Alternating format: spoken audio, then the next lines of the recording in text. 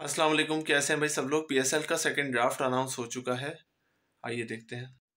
अच्छा जी, जैसे मैंने बताया कि पीएसएल का सेकंड ड्राफ्ट हो चुका है और एक बुरी खबर भी है कि हैरी ब्रुक्स जो है, जो कि बहुत ही आउटस्टैंडिंग उसने परफॉर्मेंस दी थी इंग्लैंड वर्सेस पाकिस्तान की टेस्ट सीरीज़ में, अब वो इसका पार्ट नहीं होगा। आदिल रशीद भी नहीं होगा। अच्छा मेरे स्क्रीन पे आप देखें राशिद खान भी पार्शल अवेलेबल है तो उसकी जगह सैम बिलिंग्स आ गया अच्छा प्लेयर है। रोमन पावल की जगह मतलब उसके साथ रिचर्ड ग्लीसन है, ये भी पार्शल है अवेलेबल होगा रहमान रहमानुल्ला रहमानुल्ला गुरबास और इसकी रिप्लेसमेंट में गस एटिक्सन होंगे एलेक्स हेल्स और टेमल मिल्स उसकी रिप्लेसमेंट में होंगे। फजल फारूकी की जगह कोई रिज़र्व मतलब कोई प्लेयर नहीं अनाउंस किया मुजीबुर रहमान की जगह कोई अनाउंस नहीं किया। इसी तरह आप देखें हैरी ब्रुक देखें, आप फुल लिखा हुआ है कि अब ये बिल्कुल भी अवेलेबल नहीं होंगे, आदिल रशीद भी अवेलेबल नहीं होंगे, डेविड मिलर भी पार्शली अवेलेबल होंगे। जो नए प्लेयर भी आए हैं, वो कोई इतने ख़ास नहीं आए।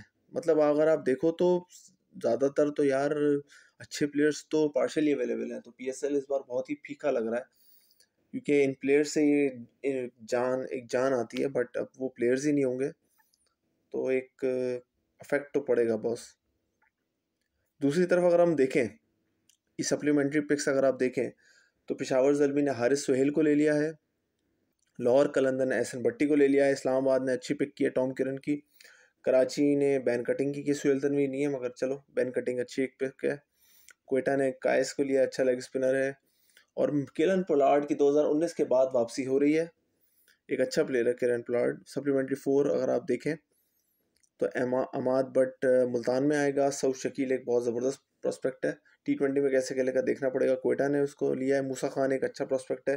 अच्छा फास्ट बॉलर है। उसको कराची किंग्स ने एक्वायर किया है। जफ़र कौहर जो कि इंग्लिश काउंटी मतलब यही आ जाता है कि यार पीएसएल में जो बड़े प्लेयर्स हम सोच रहे थे कि अच्छे होंगे और अच्छा नाम एक करेंगे बट वो हो नहीं पा रहा है अनफॉर्चुनेटली हैरी ब्रुक्स नहीं आ रहा, आदिल रशीद नहीं आ रहा। ये बहुत बड़े मतलब धचका है पी के लिए, क्योंकि आपके पास कोई बड़े प्लेयर्स तो आते ही नहीं है। आपके पास कोई केन विलियमसन या मिचल स्टार्क या ए बी डिविलियर्स जिस टाइप के प्लेयर्स तो है नहीं। छोटे छोटे ही प्लेयर्स हैं, उसमें भी अब नहीं आ रहे तो यार पीएसएल में जान कम हो जाएगी। आपके लोकल प्लेयर्स अच्छे हैं, मगर यार इंटरनेशनल प्लेयर्स के बिना लीग नहीं बनेगी। एरन फ्रिंच को ले लेता, कोई तो लेता शकीब हसन को ट्राई करते। और भी प्लेयर्स को रोपन करने की कोशिश करें, ये मतलब वरना फ़ायदा नहीं है। पी को अगर बड़ा ब्रांड बनाना है तो बड़े प्लेयर्स को लाना होगा। थोड़े पैसे भी खर्च करने पड़ेंगे।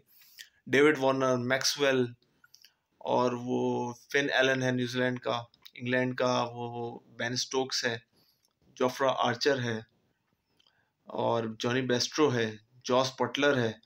मतलब ये वो नाम है जिनको पब्लिक देखना चाहती है, मगर अगर यही नहीं, ये लोग तो नहीं आ रहे। तो इन, इसके अलावा जो अवेलेबल हो भाई, उनको तो ट्राई करें ना सब लोग लाने के लिए यार। मेहनत करें इन कामयाब होगा पी अपना ख्याल रखें, अल्लाह हाफ़